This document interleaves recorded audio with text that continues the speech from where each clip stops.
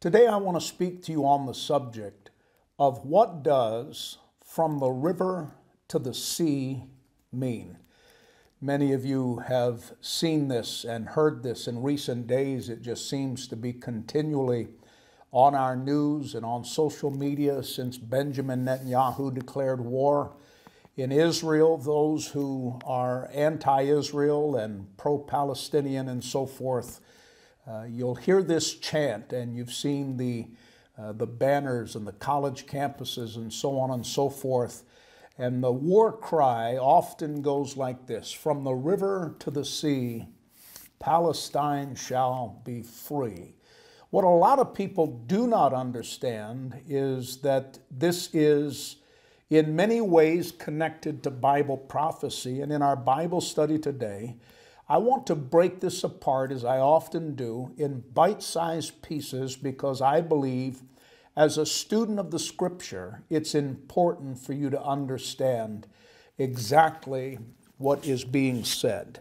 And so, in our Bible study today, what does from the river to the sea mean? And let's begin all the way back in the first book of the Bible, in the 17th chapter of the book of Genesis, Genesis chapter 17, beginning to read at verse 1. When Abram was 99 years old, the Lord appeared to him and said, I am El Shaddai, God Almighty. Serve me faithfully and live a blameless life. Can I pause right there and ask you a sincere question? Are you serving God faithfully and are you living a blameless life?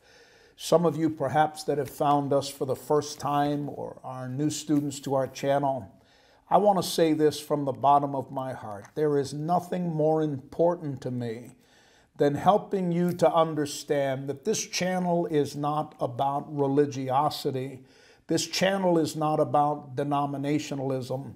Whether you're Protestant or Catholic or atheist or agnostic or have no real attachment to any philosophy whatsoever, you're important to me. And before I'm done today, I'm going to do what I do in every single broadcast. I will offer you an opportunity. I'd like to have the privilege at the close of our time together of praying with you. There is nothing more important in all of the world in the day and hour in which we're living than knowing that you have peace with God. And I will carefully explain that to you before this day is done. Let's go back into our text. In verse 2, the Bible said, I will make a covenant with you, by which I will guarantee to give you countless descendants at this, Abram fell face down on the ground. Pause again. You perhaps might better know Abram by the name of Abraham. He had a name change a little later in life, but here he is still going by his birth name of Abram. And then God said to him, This is my covenant with you. I will make you the father of a multitude of nations. What's more, I am changing your name. It will no longer be Abram. Instead, you will be called Abraham, for you will be the father of many nations. I will make you extremely fruitful. Your descendants will become many nations, and kings will be among them. Now, I always ask you when you study the Bible with us to bring a Bible, bring a way of taking notes, and bring a highlighter. I'm going to ask you to run your highlighter through verses 7 and 8. These are critically important to our study today. Verse 7 I will confirm my covenant with you and your descendants after you from generation to generation. This is the everlasting covenant. I will always be your God and the God of your descendants after you, and I will give you the entire land of Canaan, where you now live as a foreigner to you and your descendants. It will be their possession forever, and I will be their God. As we always do, let's just take a moment to pray together. Father, we never open up the sacred scriptures uh, without the awareness uh, that you're holy and the Bible is sacred, and we are in desperate need of your grace and your mercy in all that we do. And so today I humble my heart in your holy presence and before this audience, and I pray that by the wisdom and the counsel and the anointing of the Holy Spirit that you'll lead us and guide us into all truth. I pray specifically for those who may be listening, who down deep in their heart perhaps are not sure as to where they stand with God. May they clearly understand today that there is no sin in their life, there is nothing in their past greater than your forgiveness, greater than your grace and mercy, and we praise you for the promise and the integrity of the Bible that declares all who call upon the name of the Lord shall be saved. Let today be the hour of decision for hundreds and thousands of people, we pray. And for all things, we'll be careful to give you the praise and the honor and the glory, for we ask it in the mighty name of Jesus. And all God's people said, Amen and Amen.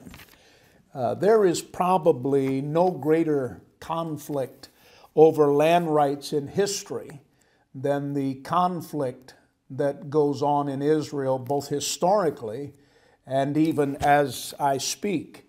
Uh, for in this very moment, as I am sharing with you, one of the great conflicts in Israel's history, one of the most violent, is currently on display for the eyes of the entire world to behold. And make no mistake about the seriousness of this conflict because it is clearly prophesied in the Bible as an end time sign and a warning that we are living in the final moments of church history that will soon end with an event that is oftentimes referred to as the rapture of the church. You are living prophetically between Daniel's 69th week and Daniel's 70th week. If you're a new student to the Bible, Daniel is one of the major Old Testament prophets. And David had, or excuse me, Daniel had an incredible vision called the vision of the 70 weeks.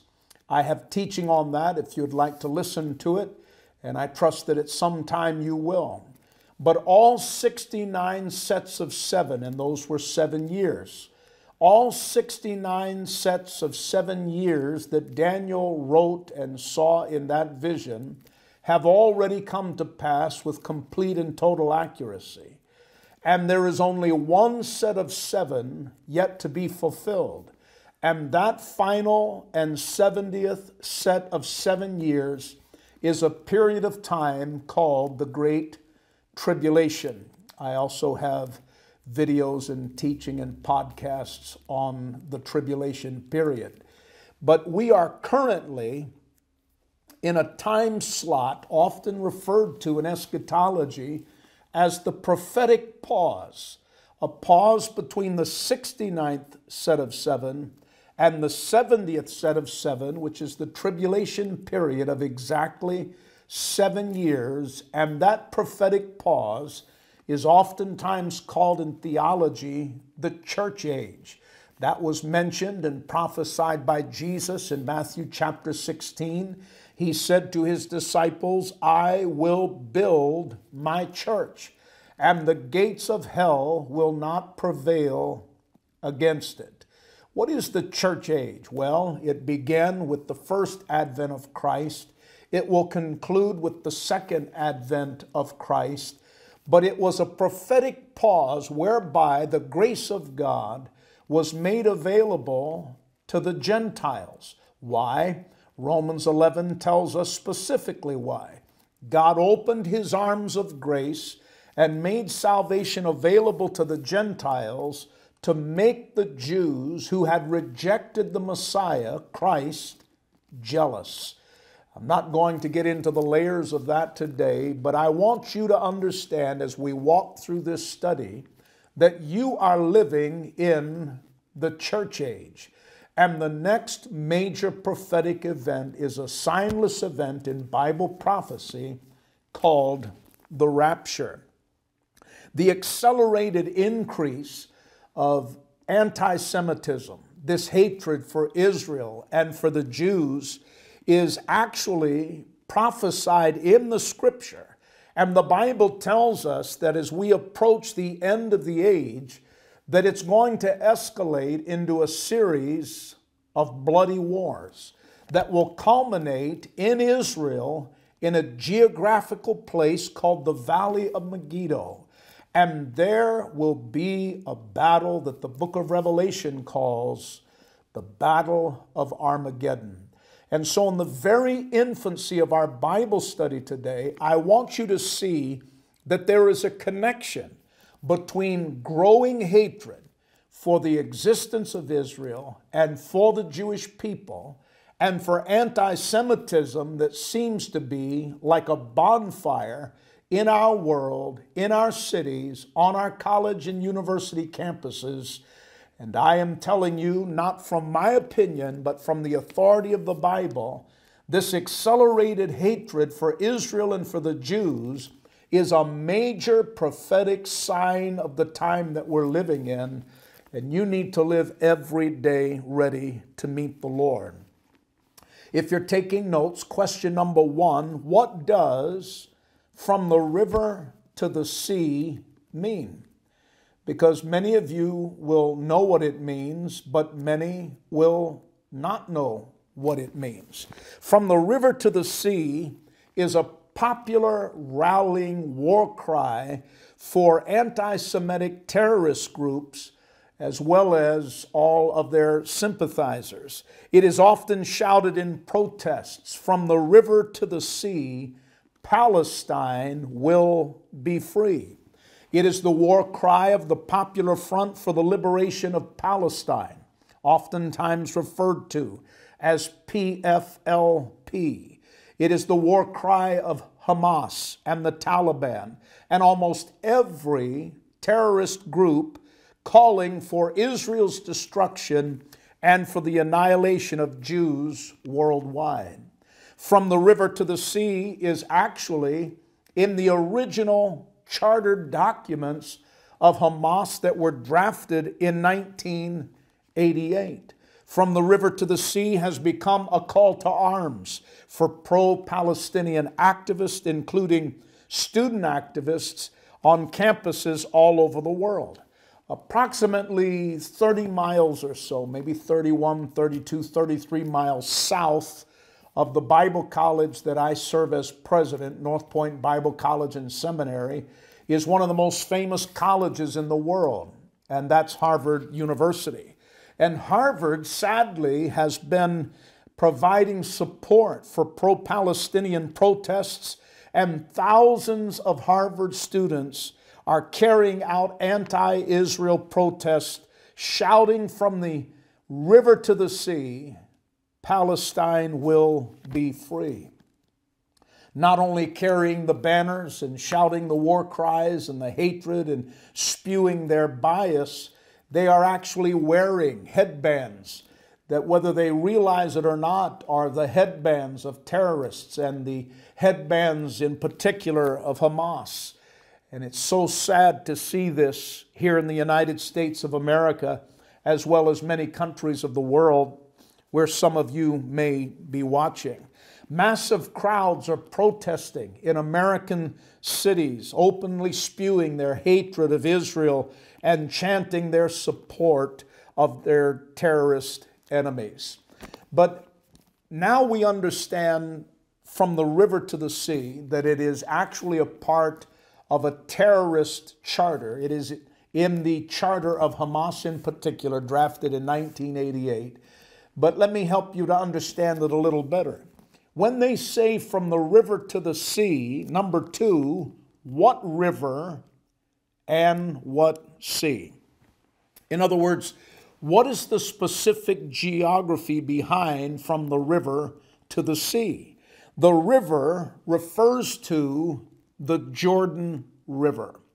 And I have a map and a visual that I'm going to leave on the screen for several seconds because I want you to see that the Jordan River, which rises on the slopes of Mount Hermon, on the border between Syria and Lebanon, and it flows southward through northern Israel to the Sea of Galilee, oftentimes referred to as Lake Tiberias. The Jordan River, by the way, is the lowest flowing river in the world, and it's more than 223 miles or 360 kilometers in length. But because, as is the tr- truth for almost all rivers around the world, it meanders, the actual distance between its source and the Dead Sea is about 124 miles or approximately 200 kilometers. It exits the Sea of Galilee and continues south, dividing Israel and the Israeli occupied West Bank to the west from Jordan to the east before emptying into the Dead Sea, which is also the lowest place on the face of this earth. And so the Jordan River is the lowest river on the face of the earth, and the Dead Sea to which it flows is the actual lowest land point on earth. After 1948, the Jordan River actually became the marker for the frontier between Israel and Jordan from just south of the Sea of Galilee. But since 1967, in the War of 1967, when Israeli forces occupied the West Bank, the Jordan River has served as the ceasefire line. It's oftentimes in news uh, referred to as the ceasefire line as far south as the Dead Sea. And so, from the river to the sea, the river is speaking of the Jordan River, and the sea is referring to the Mediterranean Sea. Now, the geography of Israel, and I've had the privilege of being there on three occasions, is very diverse. It has desert conditions in the south, but it also has snow capped mountains in the north. And Israel is located on the eastern end of the Mediterranean Sea. It is bounded to the north by Lebanon, uh, to the northeast by Syria, uh, to the east by Jordan and the West Bank, and to the southwest by Egypt. To the west of Israel is the Mediterranean Sea, and uh, that makes up the majority of Israel's 170 mile or 273 kilometer coastline and the Gaza Strip. Israel also has a small coastline on the Red Sea in the northern region. Thirdly and lastly, I want you to understand that God has established Israel's borders as an everlasting covenant. The landmass we call Israel is currently not the landmass promised by God. I'll explain that in a little greater detail. But if you're taking notes, number three, God established Israel's border as an everlasting covenant. Now, there are a multitude of scriptures and passages in the Old Testament, beginning in Genesis and going throughout, that describe the borders. Uh, perhaps at a later date, I will do a Bible study that deals specifically with the biblical passages that outline God's covenant in detail concerning the promised land given to them. But according to Genesis chapter 15, verses 18 through 21, and also in the book of Joshua and the first chapter, beginning at verse 1 and reading through verse 4, modern day Israel does not yet, very important, does not yet occupy the land that God has promised to them. Uh, let's take a quick moment. Open your Bible with me into uh, the book of Joshua. and go to chapter 1 with me. Joshua chapter 1 and verse 1, and perhaps highlight the first four verses as I read them to you or as you read along. Joshua chapter 1, verses 1 through 4. After the death of Moses, the Lord's servant, the Lord spoke to Joshua, son of Nun, Moses' assistant. He said, Moses, my servant, is dead. Therefore, the time has come for you to lead these people, the Israelites, across the Jordan River into the land I am giving them. I promise you what I promised to Moses. Wherever you set foot, you will be on land I have given you. From the Negev wilderness in the south to the Lebanon mountains in the north, from the Euphrates River in the east to the Mediterranean Sea in the west, including all the land of the Hittites. So here is a passage that gives us the promised land. You've heard that phrase before, or the Holy Land. And I want it to be clear again. Let me repeat it. I don't want you to miss this the land that we currently see in our modern age as Israel, a small portion of land, actually smaller if you live here in the United States, smaller than the state of Connecticut. It is not a large landmass that they currently occupy, but the landmass that they currently occupy does not represent the totality of the land, the promised land that was promised to them from God. The land that God gave to Israel included everything. Listen carefully. From the Nile River in Egypt to Lebanon, south and north, and everything from the Mediterranean Sea to the Euphrates River, west to east. On today's map, the land God has stated belongs to Israel includes everything modern day Israel already possesses, but it includes much more because it includes all of the territory occupied by the Palestinians, the West Bank, and Gaza. It also includes part of Egypt and Syria, all of Jordan, some of Saudi Arabia, and even Iraq. Now, I don't know if you were paying attention to that geographical definition, but I want you to remember this because it's one of the most important things that you can learn in this Bible study. Is that the land of Israel that we now know of by its modern borders is only a portion of the landmass that God has promised to them. Thus, Israel currently possesses a fraction of the land in the covenant that God made with Abraham, with Isaac, with Jacob, name change to Israel, Moses, Joshua, etc. The land covenant of God, which is guaranteed and is irrevocable and eternal, according to my understanding of Bible prophecy, the remaining part of the land covenant will not be brought back to them or given to them until the return of the Messiah, which is Jesus Christ. And most scholars believe that this total landmass that I described and read to you out of Joshua chapter 1, verses 1 through 4, most scholars believe this will not be completely fulfilled until the millennial reign of Christ. So I want to conclude by making a couple of incredibly valuable points. Number one, the people who occupy what some people refer to as Palestine, what some people describe in the news, they'll focus in as they have recently the West Bank and the Gaza Strip and so on.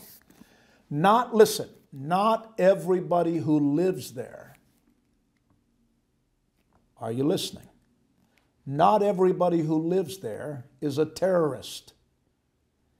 Those land masses that sadly are occupied by terrorists, and in particular Hamas, are causing a lot of the major conflict and bloodshed that goes on even as I speak. Sadly, the terrorist group Hamas has set themselves up in bunkers most of the time built under hospitals, built under schools, built under the residence of innocent people and innocent children. And the tragedy that has come out of that is indescribable. I want to be abundantly clear. Please don't miss this. Not everyone who occupies that part of the world is a terrorist. And the blood of Jesus Christ was shed for all. I've often preached through the years never call those your enemies whom God has called the harvest. And so I don't want this teaching to be lopsided in stating that the only people we preach about or teach about or share from prophecy is Israel at the expense of neglecting the souls of innocents that live in surrounding nations. Now, let's also be honest in telling you that the majority of all of the nations that surround Israel are Muslim, and they openly declare their hatred for Israel and for the Jews. That is fact. But we must never forget that in those nations, there are innocent people, and there are people who do not hate the Jews.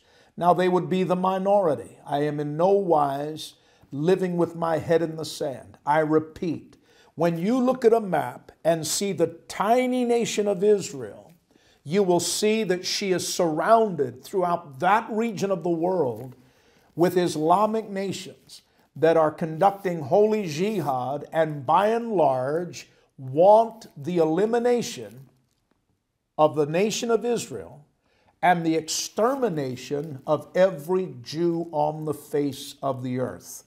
But I repeat, there are innocent people in that region of the world, and sadly, in the war that continues as I speak, has brought bloodshed and horror and rape and burning and beheading and things unspeakable, the majority of which lies at the feet of a terrorist organization called Hamas. And Israel has every right to protect her land. Israel has every right to destroy her enemies. Israel has every right to aggressively go after terrorists that are bent on their annihilation. But I will also allow in grace that I'm sure that many of the people who are marching here in the United States, on our colleges, on our university campus, marching against Israel and being pro Palestinian and chanting from the river to the sea, Palestine must be free in grace, I'll allow that some of these people, in sheer ignorance, may be repeating these things, not knowing the real history of this hatred for Israel and the Jewish people that they support.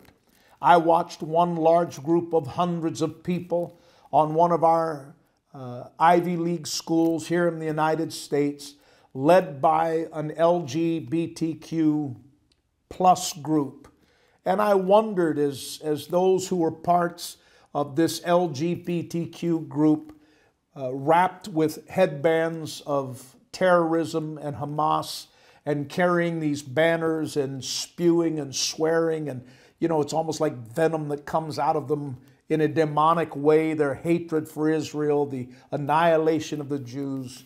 I wondered if they knew that the people that they are representing if they were in those nations, they would be beheaded, they would be quickly hung.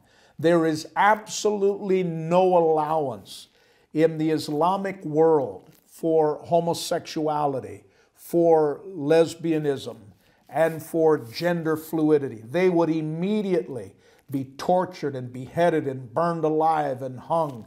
And there they protest, perhaps not even having an idea that the people they're supporting, if given an opportunity, would quickly annihilate them as quickly as they would the Jews.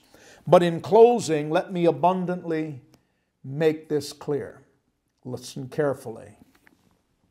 The expression from the river to the sea. We've explained to you that the river is the Jordan River, the eastern boundary of Israel, to the sea, which is the Mediterranean Sea, which is the western boundary of Israel. From the river to the sea is a war cry of Hamas and terrorists around the world that is in, let's be clear, it means they want the total eradication of the statehood of Israel. And they are praying to Allah for the day when every Jew on the face of the earth will be annihilated. It is a war cry. It is a cry of jihad. It is a cry of unspeakable horror and hatred. It is impossible, hear me carefully, it is impossible to be a Christian and hate Israel. It is impossible to be a Christian, according to the Bible, not according to me, and hate the Jewish people. It is impossible to be a Christian and to cry out the words from the river to the sea. And so today I've provided this Bible study to you because I want to, in grace, but in absolute factuality, explain to you what this cry that's being heard in the city streets, in colleges and campuses and universities, across the news and social media, what does it mean? From the river to the sea, Palestine shall be free, is calling for the eradication of the statehood of Israel and the total annihilation of every single Jew.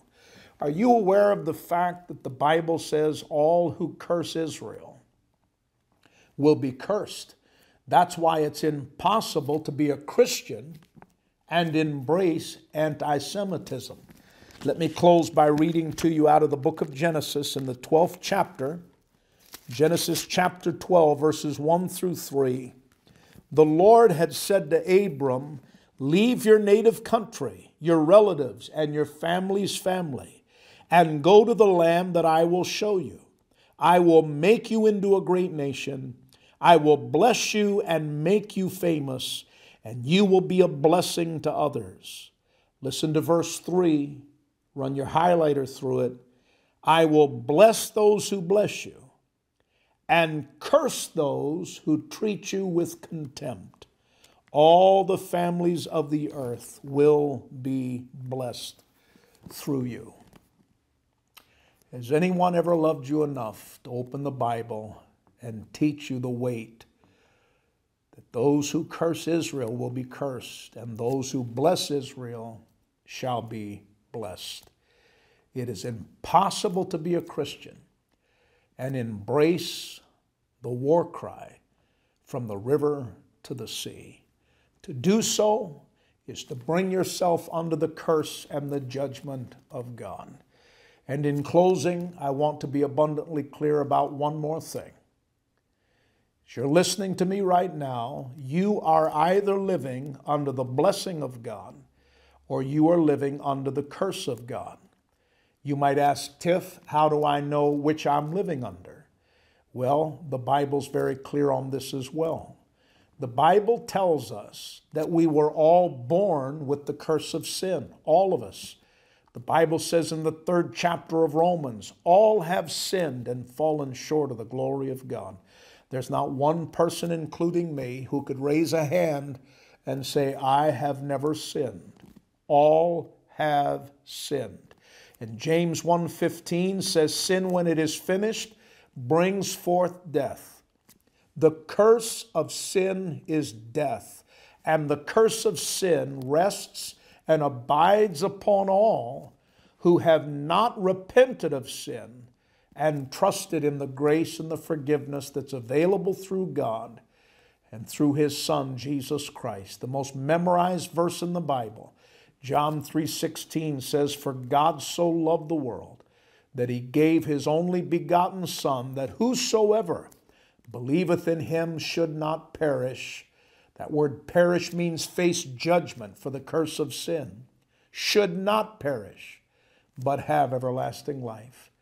Today, you can do what I've seen hundreds of people do in my travels in recent days. As I've given the invitation in our Lost Lamb events for people to personally and publicly admit their sin, believe in Jesus Christ, and in childlike faith, make a commitment to Him, you can do that right now. And I'm going to ask you to pray with me what many people call a sinner's prayer. And when we're done praying, if you've prayed that prayer and you're sincere, I want you to go into the comments and just write something from your heart, perhaps saying something like, Tiff, I want you to know that I prayed that prayer with you, and today I received Jesus Christ as my Lord and Savior. And then I want you to click on our playlist on our YouTube channel. It's entitled New Beginnings. And when you get a chance in the days ahead, I want you to begin to listen to the teachings that I have provided specifically for you. Because when you repent of sin and receive Jesus Christ, that is not the end of what God's going to do with you. It's just the beginning. Just like a brand new baby born into the world, you need to grow and be nurtured in your faith. And that's why we've prepared that playlist entitled New Beginnings, and it's all free, no charge whatsoever. We care about you and want to help you. And so when you're done praying, will you write a comment in the comment section letting me know you prayed? And then I want you to begin to, as you're able, study each and every one of those Bible studies available on our New Beginnings list. Whether you're praying with me for the first time or you've been away from God and you're coming home, maybe you've been guilty of chanting some political rhetoric that you really had no idea as to the curse of what you had embraced with the fruit of your lips. And today you want to turn from that and turn to God and trust in His mercy. Wherever you might be, just pray with me right now. Just say, Heavenly Father, Today, as I was listening to the Bible, I believe you were speaking to me. Down deep in my heart, I want to be a real Christian. And so today I confess my sin and I trust in the cross and in your only begotten Son, Jesus, who died, was buried, and rose again, and promised in the Bible that he would return. Today I receive salvation in childlike faith. I turn from sin. I turn to God. And I ask you to cleanse me with the blood that was shed on the cross. Cleanse my mind and my body and my spirit. Today I confess Jesus Christ as my Lord and as my Savior, and I'll never be the same. Today, I am no longer the property of sin. Today, I become a child of God. The curse of sin is broken, and the blessing of God is now mine. In Jesus' name I pray. Amen We're going to do an important Bible study today on the subject of what does the Bible say about my unsaved spouse. There are many people, uh, sadly, a growing number of people, who find themselves in marriages where one spouse is a Christian and the other spouse is not. Sometimes the husband is a Christian and the wife is not. Sometimes the wife is a Christian and the husband is not. Sometimes there are marriages where they entered into, or perhaps in your case, you entered into marriage and neither of you were Christians. But in the course of your marriage, one of the spouses came to faith. And then there are those who get married. I think of friends of mine that come to my mind that they were married as Christians, and currently one of the spouses is not living a Christian life, and it causes major conflict. And so that will be the subject of our Bible study today because the Bible actually has very detailed counsel for just such a difficult union. And we're going to be reading today out of 2 Corinthians chapter 6 if you have your Bible. And we're going to be answering three questions uh, in our Bible study today. Number one, what does it mean to be unequally yoked?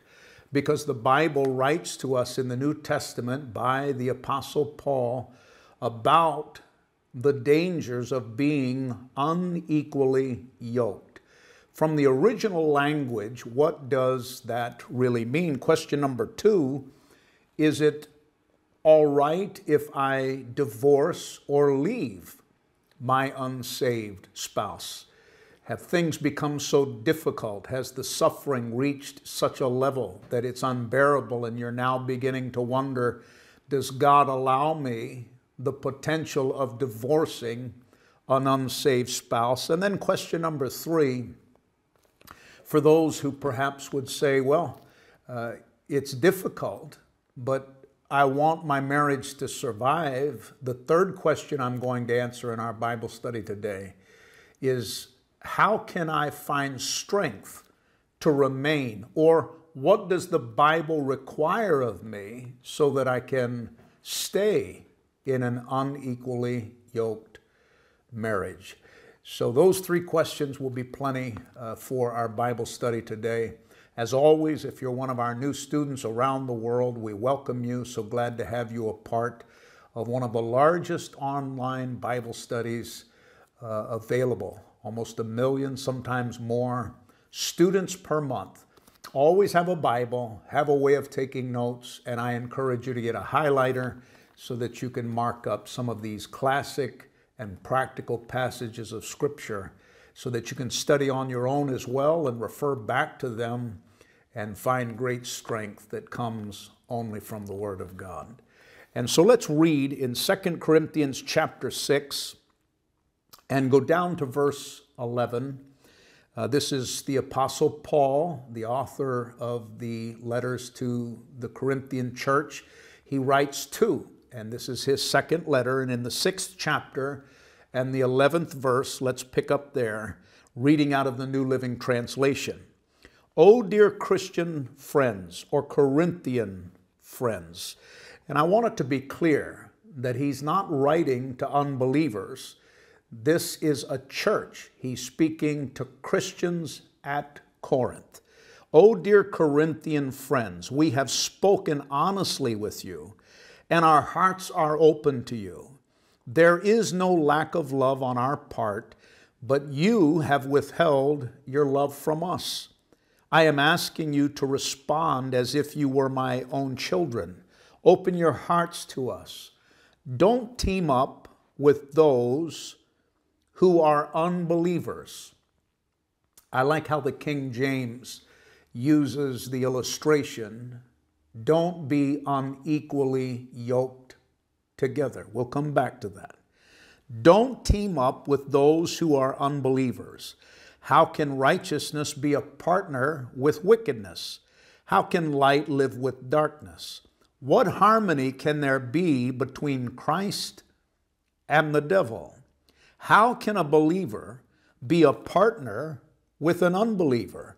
And what union can there be between God's temple and idols? For we are the temple of the living God. As God said, I will live in them and will walk among them. I will be their God, and they will be my people. Therefore, come out from among unbelievers and separate yourselves from them, says the Lord. Don't touch their filthy things, and I will welcome you. And I will be your father, and you will be my sons and daughters, says the Lord Almighty. As always, when we do these Bible studies, we start in the Bible, stay in the Bible, finish in the Bible. But before we get started, we always like to take a moment to pray with you and to pray for you. And I'd like to do that right now. Heavenly Father, once again, we thank you, first of all, uh, for there are so many in the world that do not even have a copy of the Bible. Thank you that we have the Bible written in our language to read and to study and to digest and we thank you for the promise of the scriptures that your word is a lamp unto our feet and a light unto our path. It gives us clear direction and shows us how to proceed even in tough and dark and difficult times. I pray for every listener today, and especially those who are battling the very essence of this question on being in an unequally yoked marriage. I pray that the counsel of God today would strengthen us and, if necessary, correct us. And we pray, Father, most of all, that every single listener would live every day ready to meet the Lord. And we ask now for the Holy Spirit to be the great teacher. Lead us into truth in these moments, we pray. For it is in the name of Christ Jesus our Lord that we say yes and amen. And all God's people said, Amen. Uh, in this Bible study, it's very important, as always, to pay attention uh, to the context of the passage. Because if you were paying attention to the passage, I've heard many people preach on this passage as if it were solely dedicated to marriage. And quite frankly, it is not. As a matter of fact, Nowhere in that passage, at least in the English translation, do we even find the word marriage. So this passage is not specifically and exclusively talking about dating and marriage, as many times people who preach and teach from this passage run off in that direction. Again, always important that we read and understand the scriptures within context. And so Paul is not specifically talking about dating and marriage. In this passage, Paul is speaking about the fatal flaw of all relationships that involve a partnering of believer and non believer. So it is not a violation of biblical hermeneutics, which is simply the proper interpretation of biblical passages. It is not a violation hermeneutically to refer to this passage and speak about marriage, but I do want to help you to understand that this passage is not dedicated to marriage or to dating. It is in context referring to all unequally yoked relationships in this world. And what it does do is it condemns the partnering of believers and unbelievers. This goes far beyond dating and marriage because being unequally yoked with unbelievers not only affects marriages, not only has impacts on people involved in serious relationships or dating or just getting engaged, it also affects family relationships. It affects business endeavors. It affects work environments and so on and so forth. And this is not a New Testament precept it is an Old Testament precept as well, because the psalmist wrote, it said, Blessed are those who walk not in the counsel of the ungodly. So let me lay that down as a foundational truth as we proceed. There is always the fatal flaw that exists when a believer and an unbeliever are yoked together. whether it be in dating, whether it be in marriage, whether it be in family, whether it be in business, whether it be in the workplace, so on and so forth. The Bible goes on to say, What fellowship can righteousness have with unrighteousness? And what fellowship can there be between the devil and the Lord Jesus Christ? So if you're taking notes, be sure that you write down there is an inherent fatal flaw in all relationships where you're dealing with one who is a follower of Christ and another who is not a follower of Christ, or in biblical terminology, a believer and an unbeliever. And the Bible's clear. You cannot escape this. There is no wiggle room in this. Paul simply tells us Christians should not be unequally yoked together with unbelievers. Uh, not long ago, uh, Lost Lamb partners, friends of mine, a young couple, and they were wanting to start their own business. And they had a business opportunity that was an incredible opportunity with great financial potential. And they sought my counsel as my dear friends. And when I found out that the individual who was offering them this incredible business opportunity was not a Christian, I said, You cannot put the potential of financial gain ahead of what the scripture says. My counsel to you, I'll give it to you as a father would give to his own children. I don't care what the financial opportunity is. If I'm going to go into business, I am not going to go into business with an unbeliever because things may start well, but there is an inherent fatal flaw. You will eventually bang heads in that business, and there's no amount of money that's worth your family and your peace and your future. So let's not forget the context of this passage. There is always a fatal flaw that cannot be removed. You can't counsel it away in marriage sessions. If a believer is married to an unbeliever, there will be problems. Let's get right into our three questions. If you're taking notes, question number one What does it mean to be unequally yoked together? And as I mentioned to you, I like the King James uh, verbiage here unequally yoked together. And the reason why I like this is because it's particularly descriptive. Now, if you do not know what a yolk is, we're not talking about an egg yolk, Y O L K. We're talking about a piece of old farm equipment, Y O K E. And it basically was a brace that allowed two animals to be joined together at the neck, and then plows were typically hooked to it, and there were other uh, pieces of of primitive farm equipment that were used. But two animals were yoked together, neck to neck, tightly and closely together, and they were sent off to work.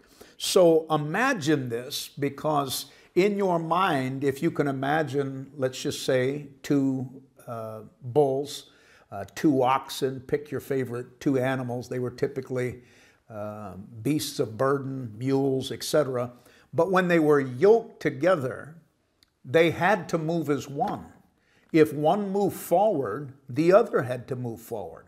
You no longer had the autonomy of one animal deciding to work and move forward and the other deciding to take a 10 minute break.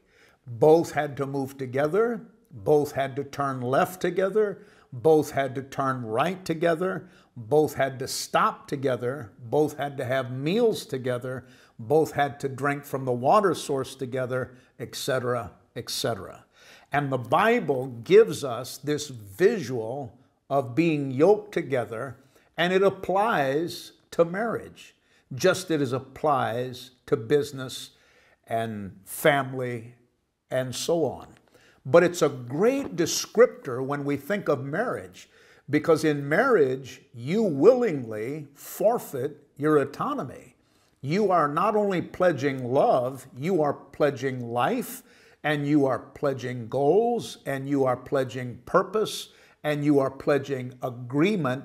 The husband and the wife, the Bible tells us, become one. You are yoked together. And so even in the Old Testament, in Deuteronomy chapter 22 and verse 10, the Bible says, You shall not plow an ox and a donkey together. Well, why not? They're both beasts of burden, they're both farm animals, they're both perfectly capable of being harnessed and yoked. Well, the reason is, is the ox is much bigger. The ox, in many cases, will be taller and it puts an incredible strain upon the donkey to be yoked together with an ox. And it's unique that it made it in to the law of God for agriculture and for farming that simple common sense. But common sense, unfortunately, is not always common. And sadly, many marriages have an ox and a donkey yoked together. And there's 100 punchlines in that and I'll avoid all 100 of them to stay in the scriptures because some of you are wondering, am I the ox or am I the ass? Well, again, we're going to bypass all of that and stay in the Bible so we stay out of trouble. But imagine the conflict that would ensue if you hook two different types of farm animals together that are different sizes, different weights, different heights, different strengths, and so on. There is, again, a fatal flaw. Are you getting this? Because we're going to come back to this repeatedly. There is a fatal flaw when you have a believer and an unbeliever yoked together. And here's the problem, and I'm going to get myself in trouble here with a lot of people. Uh, do not consider what I'm about to say to be anti Christian counseling because I'm not against Christian counseling. Uh, as a matter of fact, you are literally listening to Christian counseling as we speak. But here is my problem. Many times, as a matter of fact, I just recently read that the largest growing segment of couples who enter into counseling, and not just Christian counseling, secular marriage counseling, the largest segment are people who are unequally yoked together believers and unbelievers, or people from different faiths. Uh, a Jew who is married a Catholic, a Catholic who's married a Protestant, uh, a Protestant who's married an unbeliever, and again, multiple, multiple options there. But it is the largest segment in modern marriage counseling. Here's my problem they don't sometimes consider what I have made clear to you on multiple occasions and for reasons why. Because there is a fatal flaw. What is the fatal flaw? A believer yoked with an unbeliever, biblically, is forbidden. It is a fatal flaw with eternal consequence. Because it is a fatal flaw, fatal flaws cannot be counseled away. No amount of marriage counseling is going to solve the fatal flaw. Now, you may work on being peaceable, you may work on trying to keep harmony, you may work on scheduling intimacy when that has become difficult, and all of the things that marriage counselors may offer to you. You may work on those things, and I'm not saying that the relationship cannot be made easier, but don't miss what I'm about to say. Because there is a violation of God's eternal truth, where a believer is yoked together with an unbeliever, are you paying attention? There is always going to be suffering. Thank you for those words of encouragement today, Tiff. I'm not trying to discourage you. I am telling you when you have things that are forbidden in the scripture, you can't counsel that until it is biblical. If it's unbiblical, it's unbiblical. That brings me to the second question Can I leave my unsaved spouse? That question was sent to me twice last week. If I am involved in a marriage that is unequally yoked, and you know, one lady that wrote to me, her husband was unsaved, had never been saved, and uh, she was a Christian. Well, somebody should have been counseling her before she got married. But sometimes people get married thinking they can fix the other spouse. Or they think, you know, I have this unique ability to train animals and I know that I can make that man become the man I want him to be. It doesn't work that way. It doesn't work that way. If you are a believer and you willingly and knowingly marry an unbeliever because you violated and in a willful act of disobedience have betrayed the counsel of God, there will be suffering. There will be conflict. There will be discord. Now, I'm not going to leave you there. My last question I'm going to offer you the counsel of the scripture on, on how do we uh, deal with such relationships. But I want you to go back to our text in 2 Corinthians chapter 6. And I want to show you a verse that is continuously uh, misinterpreted. I, have heard notable ministries uh, completely take this out of context, and it needs explanation in this truth. And that is 2 Corinthians chapter 6 and verse 17. Take a look at it. And if you have a highlighter, this is a verse that I'd like for you to highlight. 2 Corinthians chapter 6 and verse 17, the Bible says, Therefore come out from among unbelievers and separate yourselves from them, says the Lord. Don't touch their filthy things, and I will welcome you. And I will welcome you. Many people take that verse, come out from among them and be ye separate, saith the Lord, as an opportunity to dissolve a complicated relationship. I've heard individuals say, well, that's a Bible verse where God, in His infinite grace, understands uh, the carnality and the weakness of human frailty, and He gives us this escape clause that if a spouse, a husband, or a wife is not a believer, and you try and you try and you just can't resolve the conflict in your marriage, you need to come out from among them and be separated. This is not, listen, this is not a biblical passage allowing for separation in a marriage. This is not a biblical passage saying if your spouse is unsaved, separate yourselves from them and don't touch that unclean individual anymore. That's not at all what the Bible is saying. This is not permission to leave an unsaved spouse. It is a call to holy living. It is a call to separation from sinful practices and it is a biblical call to separate from ungodly connections. It is not permission to walk out of your marriage even if your spouse is unsaved. That is not what verse 17 means at all. Now, let's go to 1 Corinthians chapter 7. 1 Corinthians and the seventh chapter. And here's where the Bible starts to get quite detailed. 1 Corinthians chapter 7, verses 10 through 17, reading again out of the New Living Translation, listen very carefully to what the Bible says. But for those who are married, if you're married, I have a command, not negotiable. I have a command that comes not from me, but from the Lord. So Paul is saying, I have a command. This is non negotiable, and it's not my writing, it's not my idea. It didn't originate from me, Paul is saying. He said, This comes from the Lord.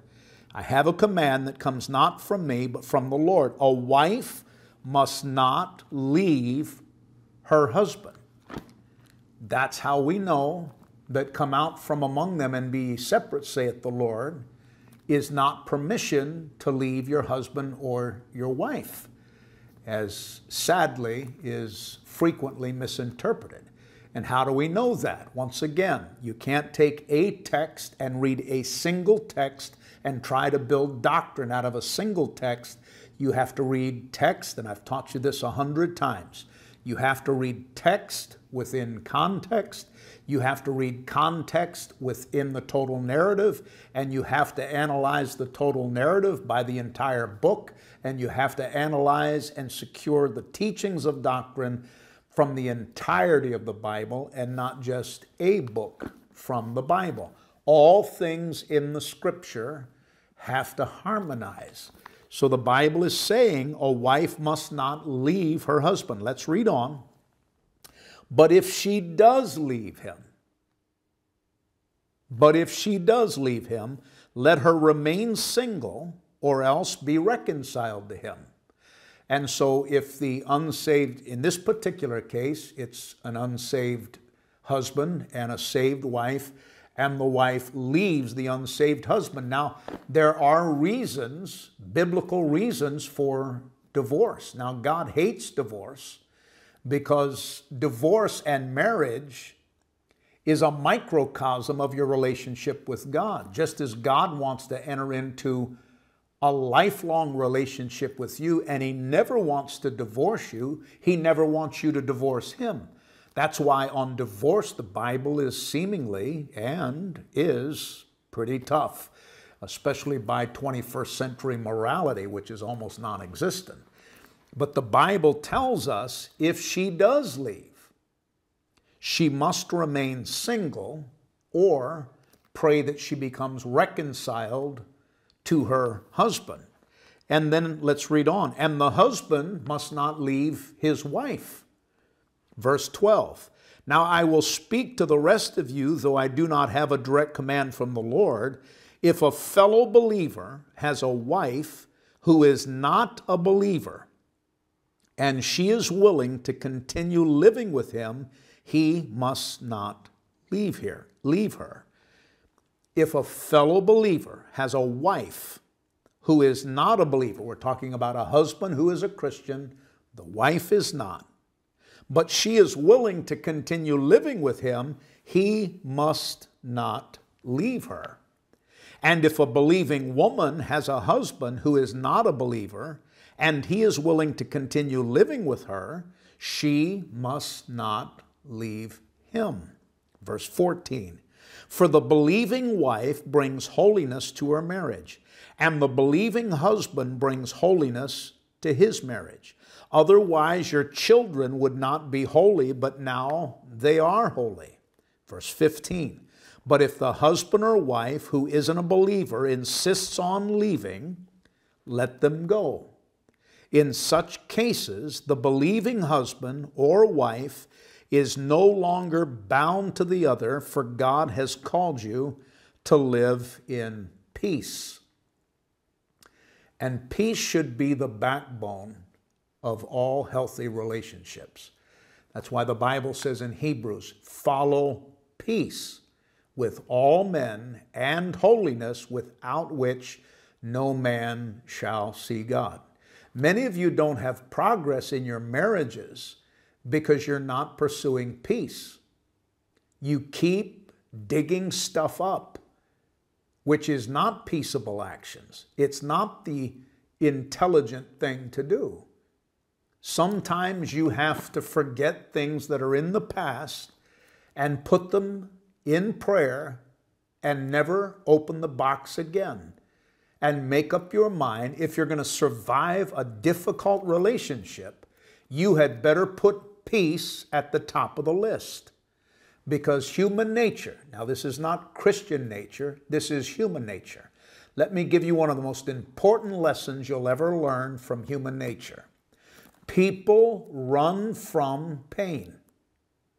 So if your words and your actions and your attitude and your disrespect and your dishonor and your nagging and your belittling and you're never doing anything except bringing conflict to the marriage and causing your spouse to feel pain, people run from pain. But here's the flip side of that golden nugget people run to pleasure. And so, if you'll make an effort to be peaceable and be smart enough to ask the Lord in prayer, Father, show me where I'm bringing discomfort to my marriage. Show me where I'm bringing frustration to my marriage. Show me where I am assassinating peace in my marriage. Show me where I'm not affirming in my marriage. Teach me how to bring pleasure to my marriage. This is one of the secrets to surviving a difficult relationship where one spouse is a believer and the other is an unbeliever. You don't bang the unbeliever over the head with the Bible eight hours a day, telling them what a filthy heathen they are. If you're going to have a marriage that's sustainable, you had better figure out how to be the master of peace and pleasure.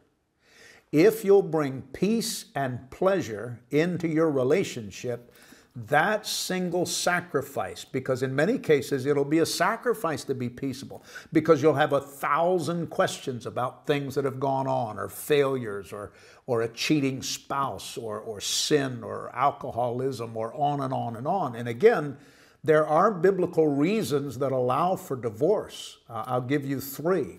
One would be adultery and it's not mandatory. You can survive a marriage where one of the spouses has cheated, either believer or unbeliever.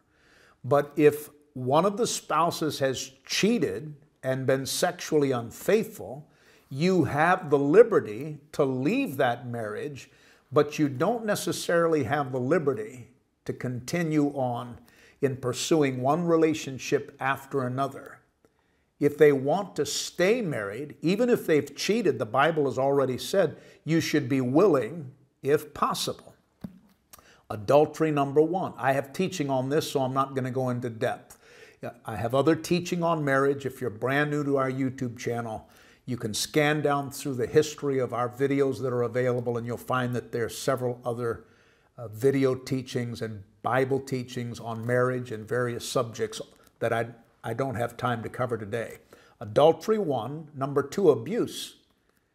If your spouse, female or male, husband or wife, if they are physically abusive, you don't have to stay in that marriage. As a matter of fact, if I found out that my daughter was being abused by her husband, she wouldn't have to leave that marriage. She would only have to attend his funeral because I would never tolerate my daughter's husband treating her that way.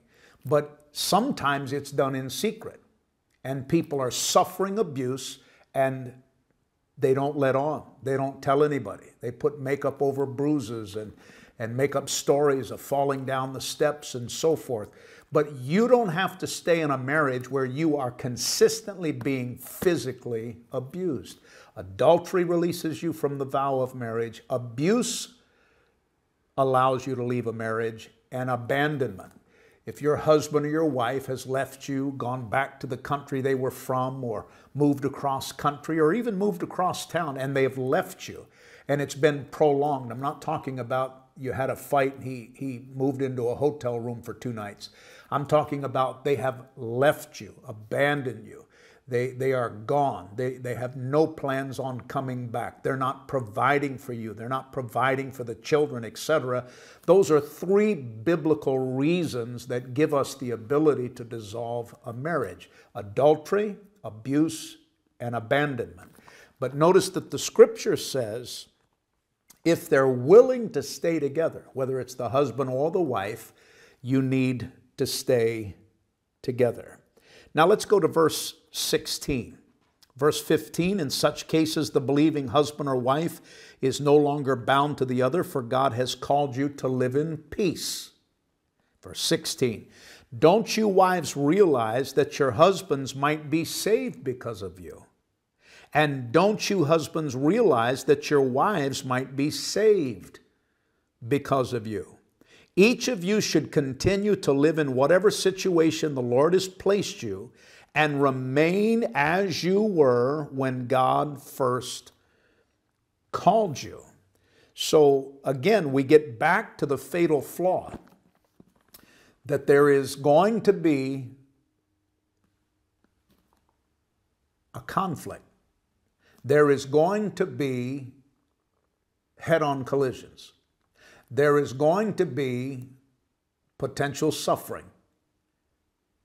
in a relationship where one spouse is a believer and the other spouse is not. But are those hurdles of conflict, is that fatal flaw not overcomable? No. The Bible tells us that you can remain in that marriage, but you're going to have to consider what I told you. People run from pain and people run to pleasure. So if there's a lot of pain in your marriage, somebody's not keeping up with the pleasure somebody's not keeping up with the peace. There is never a time in marriage when the intimacy of sexuality should be abandoned. The Bible forbids that. The only time there should be a disillusion is a willing agreement to abstain from sexual relationships for the purpose of fasting, and that's not mandatory. But many people get in a difficult relationship and for whatever reasons they no longer are interested in pleasuring the other partner, you have brought the fatal flaw, even if both are saved or both are unsaved, because that is a part of peace and pleasure. They're foundational stones to the marriage, and your marriage will never be what God intended it to be if you are not keeping up with peace and pleasure. Is that too graphic? I hope not, because it's in the Bible. Lastly, and I close with this how do I remain in an unequally yoked marriage? Well, let's go to 1 Peter chapter 3 because uh, the Bible does give us very clear counsel there, and then we'll conclude. 1 Peter and the third chapter, verses 1 through 7. In the same way, you wives must accept the authority of your husbands. Pause right there. Many women, even saved women, undermine their marriages because they feel, because they're the Christian, that they have charge of the marriage, that they know more than the unsaved husband.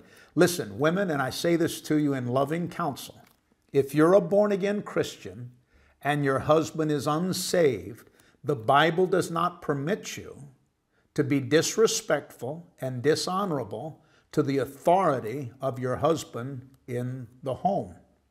Even if he is unsaved, there must be respect and honor and a recognition of his authority. Now, I'm a man, so I can talk to you about men. Men are not nearly as complicated as women.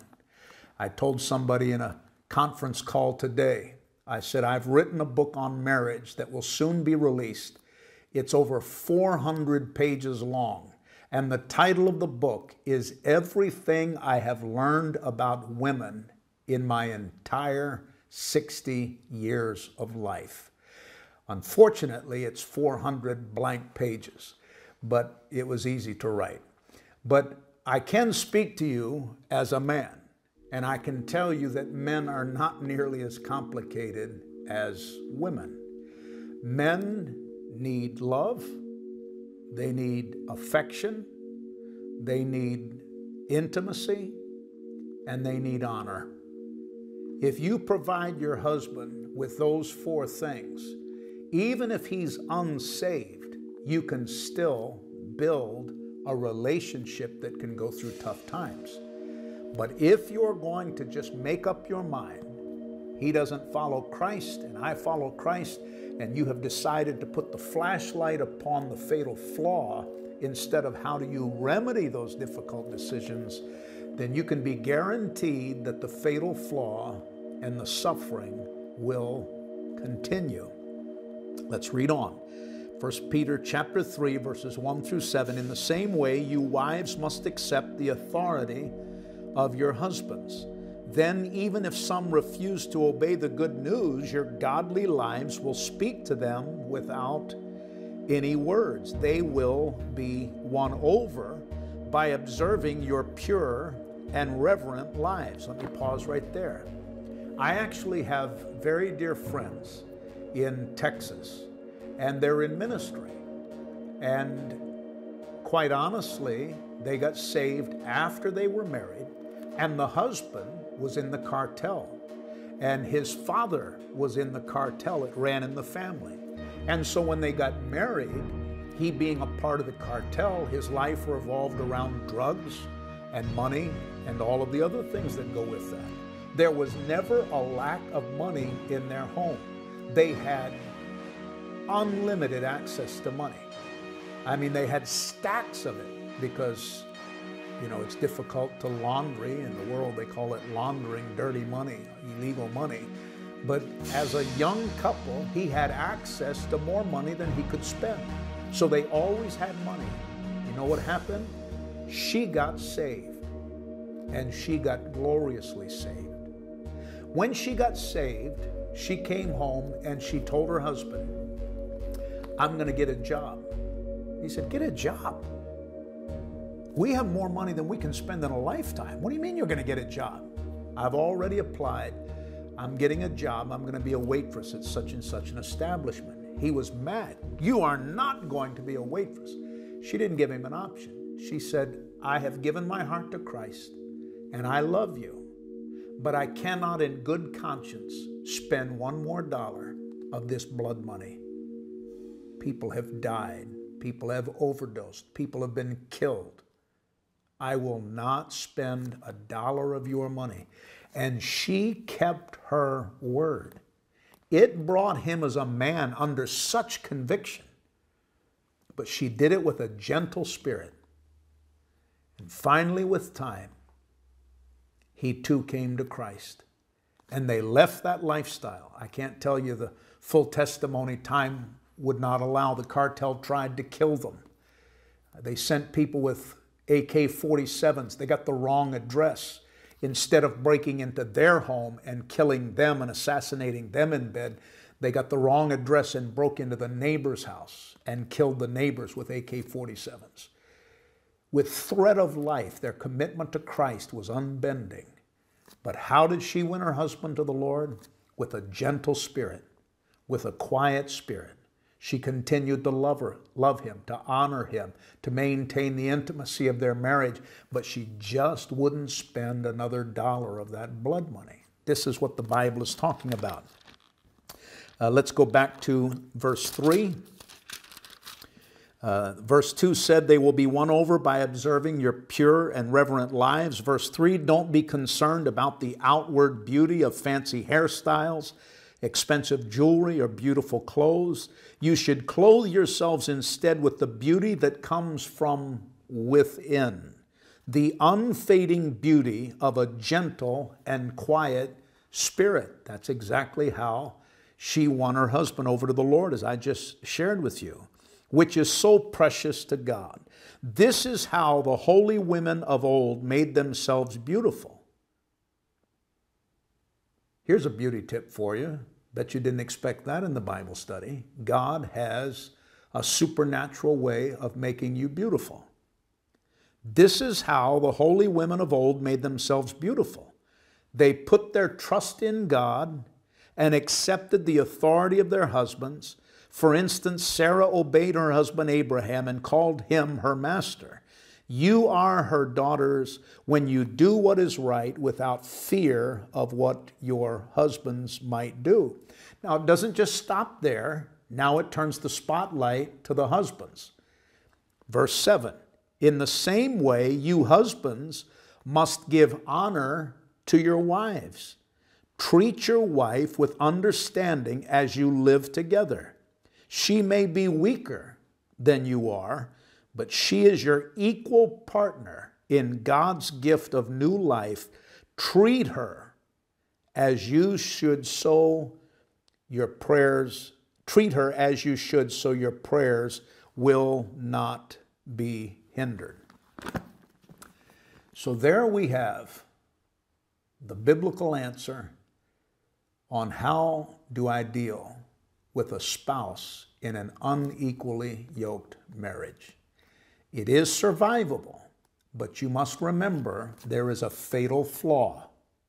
There will always be a point of conflict between a believer and an unbeliever. The level of suffering in that fatal flaw can be dealt with by your behavior. And I'm speaking both to men and to women. You will either in that marriage be the source of pain, or you can make up your mind today, I'm going to be the source of pleasure. People always run from pain and people always run to pleasure. That's usually how most marriages end up where you have a cheating spouse. One person has been subjected to so much pain, they become vulnerable. And then the enemy brings somebody into their life that begins to bring them peace and begins to bring them pleasure. It's not always an upgrade. Men oftentimes have affairs with women who are nowhere near as beautiful in the natural as their wife, and vice versa. Women do not always run into the arms of some beautiful, chiseled actor type man. Oftentimes, when you see the men that are uh, involved in relationships with, with wives that have cheated, they're far below, many times, the standards, the secular standards of the husband in appearance, in, in education, in wealth, etc., etc. Why? I'll say it one more time.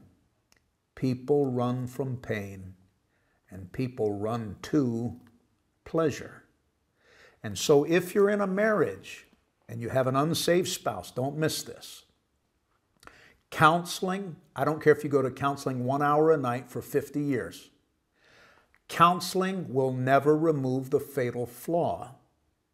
You know what the answer is? The answer is your spouse being saved. And if you would spend more time fasting and praying for the salvation of your spouse and living in such a way that you peaceably, pleasurably, quietly, honorably keep that marriage healthy to the best of your ability and pray for their salvation, what will salvage that marriage and what will remove the fatal flaw is the day that you get to see your spouse bow before God in humbled prayer and recognize their sin, repent of their sin, and receive Jesus Christ. I never close a broadcast, broadcast without offering you that opportunity, and I'm going to ask you to pray with me as we close. Some of you perhaps are not in right relationship with God, and your life will never be potentially what God's plans are for your life until you have right relationship with God. You need to live every day ready to meet the Lord. Some of you will pray with me perhaps for the first time. There's always others that pray who have wandered from God, who feel a tug to come back home. And some of you have wandered away and you need to come back home. When we're done praying, I want you to be sure, go to our website, lostlamb.org. It's on the screen and then click on New Beginnings and listen to the teaching that I've made specifically for you as you get founded in faith and secure faith and grow in faith. Wherever you're at in the world, if you're not 100% sure that your heart is right with God, will you pray with me right now? Just say, Heavenly Father, today as I was listening to the Bible, you were speaking to me. I now repent of my sin. And I trust in your grace and in your mercy and in the cross where your only begotten Son Jesus died. He shed his blood as a payment for all of my sins. I trust in Christ. He died, He rose again, He's coming again. I receive Him today as my Lord and as my Savior.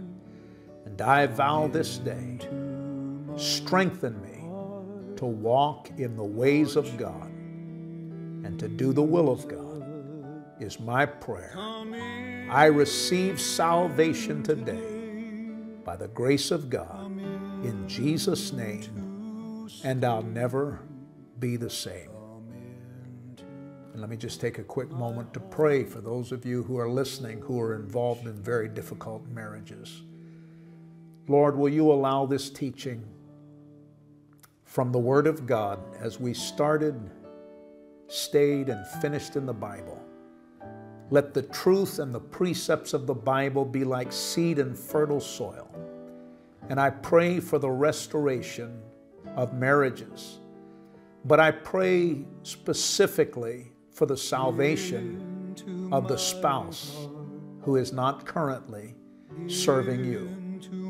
I pray that by the Holy Spirit there would be a conviction of sin that comes by the Holy Spirit and that you would draw them to yourself and I pray that all who are listening would have a marriage built upon the foundation of Christ Jesus, and that the lamp of God's Word would be the light that leads them throughout every test and challenge, and bring peace and pleasure into their home, and the joy that comes from sure salvation. In Jesus' name we pray.